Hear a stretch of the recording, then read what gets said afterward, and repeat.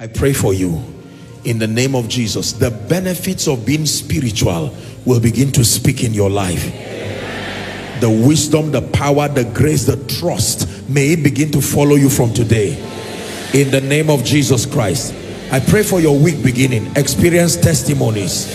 Testimonies of breakthrough. Testimonies of lifting. Testimonies of restoration. Testimonies of abundance. Testimonies of prosperity.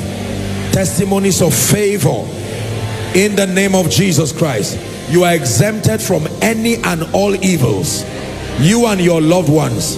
I declare that your love for Jesus is waxing hotter and hotter the wisdom of the word is at work in your life you enjoy the leadership of the spirit this week no weapon fashioned against you prospers and every tongue that rises up against you falls in judgment. I place a mark of favor upon you a mark of victory